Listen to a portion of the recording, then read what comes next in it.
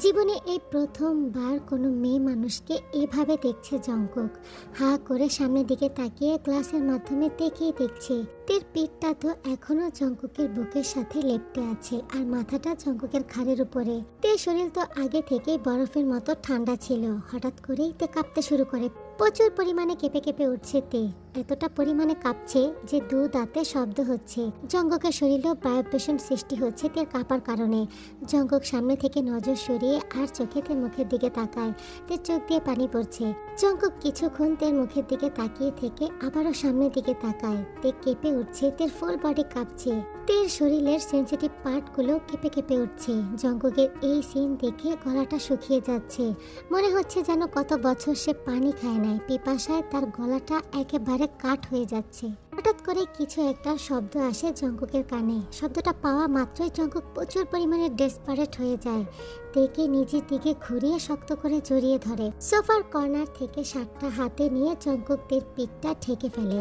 তেকে বসিয়ে রেখে দ্রুত পায়ে চলে যায় জানালার কাছে। জানালার গ্লাস খুলে সামনের বিল্ডিং এর ফ্ল্যাটগুলোতে ভালোভাবে চোখ বুলিয়ে দেখতে থাকে জঙ্কুক এক মিনিটেরও বেশি সময় ধরে জঙ্কুক বাহিরে তাকিয়ে কিছু একটা দেখে। তারপর জানালা বন্ধ করে দিয়ে পর্দা লাগিয়ে তের কাছে চলে আসে। আসলে গ্লাসের জানালাগুলো এই ডিজাইনের হয়। দিনের বেলা বাহির থেকে ঘরের মধ্যে কি হচ্ছে কিছুই দেখা যায় না। বাট রাতের বেলা ঘরের মধ্যে কি হচ্ছে জানালা থেকে স্পষ্ট দেখা যায়, যেহেতু পাশে বিল্ডিং ছিল, ওখানে ফ্ল্যাট আছে, মানুষরা থাকে। জঙ্গকের এত সময় মনেই ছিল না যে বাহির থেকে তেকে কেউ দেখতে পারে। হঠাৎ করে যখন আকাশ দিয়ে একটা প্লেন যাচ্ছিল, তখন প্লেনের শব্দ পায় জঙ্কক কিন্তু যখনই প্লেনের লাইট দেখা যাচ্ছিল জানালা দিয়ে, তখনই জঙ্ককের মনে পড়ে যায়, পর্দা লাগানো না। আর বাহির থেকে যদি কেউই চায় তাকিয়ে তাদেরকে দেখতে পারবে। তাই তো জঙ্কক তাড়াতাড়ি করে তেকে নিজের দিকে ঘুরিয়ে তের পিঠটা শার্ট দিয়ে ঢেকে ফেলে, তারপর জানালার কাছে গিয়ে চেক করে কেউ কি তেকে দেখল নাকি। সামনের অ্যাপার্টমেন্টের ফ্ল্যাটগুলোর সমস্ত জানালা টানালার পর্দা মারা ছিল। জঙ্গক এটা দেখে একটু স্বস্তি পায়, তারপর তীর কাছে চলে আসে। এবার জঙ্কুক তের সামনেই বসে পড়েছে। যা দেখার তা তো দেখেই নিয়েছে। এখন এত ঠং করে কে লাভ কাঁপছে আর এদিক ওদিক ঢুলে পড়ে যাচ্ছে। জঙ্কুক তের মাথাটা নিজের বুকের সাথে ঠেকিয়ে তেকে শার্ট পরিয়ে দেয়। একটা একটা করে সমস্ত ভুদাম আটকে দিয়ে তের কাল দুটো দু হাত দিয়ে ধরে মুখটা নিজের দিকে ঘুরিয়ে তেকে বলে, দেখো ইচ্ছা করে আমি কিছুই করি নাই। ইচ্ছা করে আমি কিছুই দেখি নাই। এটা একটা অ্যাক্সিডেন্ট অ্যাক্সিডেন্টলি হয়ে গেছে। আই এম সরি তে চোখ বন্ধ করে আছে আর থরথর করে কাঁদছে। দু দাঁতে শব্দ হচ্ছে। জঙ্কুক বুঝতে পারল, তের সাথে কথা বলে কোনো লাভ নাই। কিন্তু এখন ঘটলো আর এক বিপত্তি। ওপরে তো শার্ট পরিয়ে দিয়েছে, কিন্তু কোমরের নিচে তো ভেজা শাড়ি আর পেটিকোট বিদ্যমান। এটা কীভাবে খুলবে? জঙ্কুক কয়েক সেকেন্ড বসে বসে ভাবতে লাগে, কি করবে? ওহ, এখন এটাও আমাকে করতে হবে। আচ্ছা তুমি কি এটা একটু খুলতে পারবে না? তে তো কোনো কথাই বলছে না, প্রচুর পরিমাণে কাঁপছে। উফ, তোমাকে নিয়ে আমি কি করব? তোমার এই কাপাকাপি আমার একেবারে সহ্য হয় না। এত কিসের কাপাকাপি তোমার? আমি বাঘ না ভাল্লুক, আমাকে দেখেই কাঁপতে থাকো। এটা কি আমাকে ভয় পাও না ভয় পাওয়ার নাটক করো? তর্ক করার সময় তো মুখ চলতেই থাকে। জঙ্কুক অসুস্থ তের সাথে প্রচুর পরিমাণে রাগ দেখাচ্ছে। জঙ্কুক ভালো করেই বুঝতে পারছে তার কোনো কথাই তের কানে যাচ্ছে না, কিন্তু তারপরও, তারপরেও রাগ দেখাচ্ছে। রাগের কারণে জঙ্কুক নিজের মাথার চুল নিজেই টানছিল। উফ, আর পারছি না পারছি না আমি। তোমার এই সমস্ত টর্চারগুলো সহ্য করতে পারছি না। হঠাৎ করে জঙ্কুকের এরকম ভাবে একা একা নিজের সাথে কথা বলে রাগ দেখানোর মানেটা কি? এটা কি রাগ দেখানো হচ্ছে, না নিজের মধ্যকার উত্তেজনা? রাগের মাধ্যমে দমিয়ে দেওয়ার চেষ্টা করা হচ্ছে। কারণ একটু আগে জঙ্কুক পুরুষদের চোখে নারী শরীরে সব থেকে আকর্ষণীয় যে পাটটা সেটার দর্শন পেয়েছে। কিন্তু আফসোসের বিষয় হচ্ছে, জীবনের প্রথম এই জিনিসটার দর্শন পাওয়ার পরও অধিকার নিয়ে ভালোবাসার সাথে ফিল করতে পারল না টাচ করতে পারল না, নিজের মধ্যে অনুভব করতে পারল না, যেটার কারণে সে প্রচুর পরিমাণে ইরিটেট হচ্ছে। মেজাজটা গরম হয়ে যাচ্ছে, তাই তো রাগে যা নয় তা বলছে থেকে জঙ্কুক তো মেজাজ দেখাতে ব্যস্ত, অন্যদিকে তে কাঁপতে কাঁপতে সোফা থেকে নিচে পড়ে যায়। তে পড়ে যেতেই জঙ্কুক একেবারে চুপ হয়ে যায়। জঙ্কুক তেকে টেনে তুলে সঙ্গে সঙ্গে তে জঙ্কুকের গলাটা জড়িয়ে ধরে। প্রচুর পরিমাণে ঠান্ডায় তে একটু উষ্ণতা খুঁজছিল, তাই জঙ্কুককে শক্ত করে জড়িয়ে ধরে। জঙ্কুক পুরোপুরি স্তব্ধ হয়ে যায়। হ্যাঁ হ্যাঁ এটাই বাকি আছে। এগুলাই তো পারো তুমি। আমাকে ডিস্টার্ব করার কোনো রাস্তাই ছাড়ো না তুমি। কথাটি বলেই জঙ্কুক তের কোমরটা জড়িয়ে ধরে তেকে তুলে দাঁড় করায়। জঙ্কুক আর তে একে অপরকে জড়িয়ে আছে। তে জঙ্কুকের গলাটা শক্ত করে জড়িয়ে রেখেছে আর জঙ্কুক তের কোমরটা জড়িয়ে ধরে দাঁড়িয়ে আছে। তুমি আমাকে আর কত সাফার করাতে চাও বলো তো? সে প্রথম দিন থেকে তুমি এই একই কাজ করছ আমার সাথে। কেন এসেছ তুমি এখানে? কি করার জন্য এসেছ? কোনো কিছু তো লাভ হচ্ছে না। উল্টা আমাকে ভুগতে হচ্ছে। আর কি কি? কি কি করব আমি তোমার জন্য? কি কি করাতে চাও? কথাটি বলে জঙ্কুক ওই অবস্থাতে তার হাতটা তার পেটিকোটের ফিতার কাছে নিয়ে যায়। অত্যন্ত রাগের সাথে শক্ত করে টান দিয়ে পেটিকোটের বাঁধনটা খুলে ফেলে শাড়িটা নিচ দিকে টেনে নামিয়ে দেয়। তে যে শার্টটা পরেছিল সেটা অনেক লম্বা। হাঁটুর একটু উপর পর্যন্ত জঙ্কুক শার্টটা ভালোভাবে নামিয়ে দেয়, কিন্তু একটা বারের জন্য নিচের দিকে তাকায় না। তারপর তেকে নিয়ে গিয়ে বিছানায় শুয়ে তের উপরে চাদর টেনে দেয়। তের দিকে তাকিয়ে অ্যাংরি টোনে বলে, বাস, এতটুকুই। এর থেকে বেশি আমি তোমার জন্য কিছু করতে পারব না। কথাটি বলে দাঁত পিষতে পিষতে জঙ্গক দ্রুত পায়ে ওয়াশরুমে চলে যায়। প্রচুর পরিমাণে হট ফিল করছে। শরীর থেকে আগুন বের হচ্ছে। চোখ দুটো লাল হয়ে গেছে। শরীরের ভেতরের উত্তেজনাটা কমানোর জায়গা পাচ্ছে না। তাই তো এভাবে রাগ করছিল। এই মুহূর্তে ঠান্ডা পানি দিয়ে গোসল করা প্রয়োজন। জঙ্কুক একটা একটা করে নিজের শরীরের সমস্ত পোশাক খুলে শাওয়ারের নিচে দাঁড়িয়ে পড়ে। পুরো আধা ঘণ্টা জঙ্কুক গোসল করে। তারপর ওয়াশরুম থেকে বের হয়ে পিছনের দিকে তাকিয়ে দেখে তে এখনও থরথর করে কাঁপছে। এখন জঙ্কুকের মেজাজটা ঠান্ডা হয়েছে। তের কাছে গিয়ে তার পাশে বসে জঙ্কুক শরীরে হাত দিয়ে দেখে শরীর এখনও ঠান্ডা।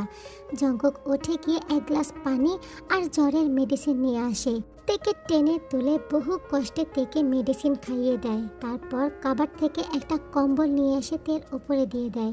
তে তারপরও কাঁপছে। কিছুতেই তে শরীরের কাঁপা থামছিল না। এত পরিমাণে কাঁপছিল, যার কারণে তের দাঁতে দাঁতে শব্দ হচ্ছে। কিছু সময় পার হয়ে যায়। জঙ্কুক বুঝতে পারে এভাবে হবে না। এভাবে তে শরীর গরম হবে না। কিন্তু জঙ্কুক তের সাথে পেট শেয়ার করবে না, কারণ তে পছন্দ করে না। জঙ্কুক তের শরীরের উপর থেকে কম্বলটা সরিয়ে দিয়ে ভেতরে যে চাদরটা ছিল, ওই চাদর দিয়ে তের পুরোটা শরীর ভালোভাবে পেঁচিয়ে দেয়। তারপর তেকে কোলে তুলে ফেলে আর হাতে কম্বলটা নিয়ে সোফাতে চলে আসে। কারণ বিছানা থেকে সোফাতে হিট বেশি হয়। জঙ্কুক থেকে কোলে করে সোফাতে বসে তাতে দুজনের শরীরে কম্বল দিয়ে ঠেকে ফেলে। তে একেবারে গুটিসুটি মেরে জঙ্কুকের বুকের সাথে লেপটে ঘুমিয়ে যায়। আস্তে আস্তে করে তে শরীরের কাঁপুনি কমে যায়। কিন্তু জঙ্কুক একটু ঘুমাতে পারে না। একে তো প্রচুর পরিমাণে গরম লাগছিল। আর দ্বিতীয় কারণটা হচ্ছে তে। তেকে কোলে করে বসে জঙ্কুক কীভাবে ঘুমাবে? জঙ্কুক একেবারে চুপচাপে বসে থাকে সারা রাত। পুরোটা রাত শরীরের সাথে আর নিজের মনের সাথে প্রচুর পরিমাণে ফাইট করে। ভোরের দিকে জঙ্কুক তেকে বিছানায় শুয়ে দিয়ে কম্বল দিয়ে ঠেকে দেয়। কারণ তের কাঁপুনিও কমে গেছে আর জ্বরও কমে গেছে। জঙ্কুকের ভয়ে তে পাটির পুরোটা স্যুপ খেয়ে ফেলে। হঠাৎ করে আবারও দরজা ঠেলে জঙ্কুক রুমে আসে। হাতে এক গ্লাস পানি আর ওষুধ নিয়ে। পানির গ্লাস আর ওষুধ তের দিকে বাড়িয়ে দেয়। এই নাও ধরো। জঙ্কুকের কথা শুনে তে অ্যাঙ্গ্রি লোকে তাকায় জঙ্কুকের দিকে। তারপরে হাত থেকে গ্লাস আর ওষুধটা নিয়ে গিলে ফেলে। আমার লাগেজ কি করেছেন আপনি? সব ছাদে, কারণ সব ভেজা। তে অ্যাংরি লোকের জঙ্গকের দিকে তাকিয়ে বলে, ভেজা না, বলুন সব ভিজিয়ে দিয়েছে। এখন আমি পরবটা কি? কিছুই পড়তে হবে না, চুপচাপ এভাবেই থাকো। বিছানা আছো, তাই শান্তিতে আছি। উঠলে না জানি আবার কি পাগলামি শুরু করে দাও। আমি পাগলামি করি, আর আপনি যেটা করেন সেটা কি? সেট এত অসুস্থ হয়েছ, তারপরেও তোমার মুখটা বন্ধ হচ্ছে না। কথাটি বলে চঙ্কক রুম থেকে বের হয়ে যেতে লাগলে পেছন দিক দিয়ে তে বলে, আমাকে শাড়ি এনে দিন, আমি এভাবে চঙ্কক পেছনে ঘুরে তের দিকে তাকালো, তারপর রুম থেকে বের হয়ে গেল। কয়েক মিনিট পর একটা শাড়ি এনে তের পায়ের কাছে ছুঁড়ে মারলো। হয়তো ছাদে গিয়েছিল শাড়িটা আনার জন্যই। তে শাড়িটার দিকে তাকিয়ে কপাল কুচকে জঙ্কুককে প্রশ্ন করে, শুধু শাড়ি এনেছেন? জঙ্কুক বিরক্তি নিয়ে উত্তর দেয়, সবই আছে। চোখ দিয়ে দেখে কথা বলো। এক্সট্রা কথা বলো সব সময়। হ্যাঁ হ্যাঁ আমি তো সব সময় সবকিছু এক্সট্রা করি। আপনি যে সুপার এক্সট্রা করেন, তা তো চোখ দিয়ে দেখবেন না। এখন দয়া করে চান এখান থেকে। ভুলেও আমি না বলা পর্যন্ত আসবেন না। জঙ্কুক মুখটা ভার করে রুম থেকে বের হয়ে যায় আর যাওয়ার আগে দরজাটা মিশিয়ে দিয়ে যায়। তে ফট করে বিছানা থেকে নেমে কাপড় হাতে নিয়ে ওয়াশরুমে চলে যায় গোসল করার জন্য। জঙ্কুক একটু পরে শাওয়ারের দরজা টোকা মেরে বলে, তোমাকে গোসল করতে বলেছি আমি, এখনই বের হও। এখনই বের হও, এখনই বের হও। ইস, ঢং কত। আপনি চুপ করুন, আমার এখনও হয় নাই। জঙ্কুক রেগে গিয়ে বলে, তোমার হেয়ালের কারণে যদি আবারও কিছু বাধাও না, তাহলে এবার সত্যি বাইরে ফেলে দিয়ে আসব। তে বাথরুম থেকেই বলতে লাগে, এবার ফেলে দেখুন আমি কি করি? জঙ্কুক জোরে জোরে দরজা ধাক্কা মারছে আর বলছে, ভদ্রভাবে এক মিনিটে বের হও। তে কি আর করবে? এমনিতেই গোসল করা ঠিক হয় নাই, মাথাটা ঘোরাচ্ছে, মনে হয় আবারও জ্বর আসবে। জলদি জলদি মাথায় তোয়ালে বেঁধে জঙ্গকে শার্টটা ধুয়ে ওয়াশরুম থেকে বের হয়ে জঙ্গকে সামনে দাঁড়িয়ে শার্টটা জঙ্গকে দিকে এগিয়ে দিয়ে বলে, আপনার শার্ট লাগবে না আমার। গোমরা মুখ করে কথাটি বলে জঙ্গক ঘর থেকে বের হয়ে যায়। কথাটি শুনে তে মুখটা ভেঙচি মারে। জঙ্গকের শার্টটা হাতে নিয়ে ব্যালকনিতে চলে যায়। ব্যালকনিতে শার্টটা মেলে দিয়ে একটু রোদে দাঁড়িয়েছিল। রোদে দাঁড়াতে ভালো লাগছিল। হঠাৎ করে মাথাটা ঘুরিয়ে যায় তের। আস্তে আস্তে মেঝেতে বসে পড়ে। হঠাৎ করে তের মনে হলো সে শূন্যে ভাসছে। তে চমকে গিয়েছে। জঙ্গক তাকে কোলে তুলে নিয়েছে। বলেছিলাম না, বেশি নড়াচড়া না করে একটা জায়গায় থাকতে? জঙ্গক থেকে কোলে করে এনে বিছানায় বসিয়ে দেয়। তেও চুপচাপ বসে থাকে কারণ মাথাটা প্রচুর পরিমাণে ঘোরাচ্ছে। হঠাৎ করে জঙ্গকের ফোনটা বেজে ওঠে। হ্যালো বল। তোকে না একটু অফিসে আসতে হবে। কেন? ফালতু তোর কাছে জলদি আয় তাড়াতাড়ি একটা মিটিং আছে কাজটা শেষ করে তুই চলে যাবি। জঙ্গক তের দিকে তাকায়। তে মাথা নিচু করে বসে আছে। ওকে আমি আসছি। জঙ্গক কথা শেষ করে তে সামনে এসে দাঁড়িয়ে তার মাথা থেকে টাওয়ালটা টান মেরে খুলে ফেলে। কি? কি করছেন আপনি? আমার সাথে চলো। কথাটি শুনে তে আকাশ থেকে পড়েছে। কোথায়? সেটা তোমার না জানলেও চলবে। কথাটি বলেই জঙ্গককে হাত ধরে টেনে দাঁড় করিয়ে দেয়। তোমাকে রেডি হওয়ার জন্য পাঁচ মিনিট দিলাম বলেই জঙ্গক নিজের কাপড় নিয়ে ওয়াশরুমে ঢুকে পড়ল। তে রেডি হওয়া বলতে মাথার চুলগুলো ঠিক করা। টেকুক একসাথে বাসা থেকে বের হয়ে গেছে। দুজনেই গাড়িতে বসে আছে। তে সন্দেহজনক চোখে জঙ্গকের দিকে তাকিয়ে বলে, সত্যি করে বলুন তো, আপনি আমাকে কোথাও ফেলে আসার মতলব করছেন না তো? যেমন তোমার মাথা, তেমন তোমার চিন্তা ভাবনা স্টুপিড কোথাকার। হুম, আর আপনার গোমরা মুখ আর ফাঁকা মাথা।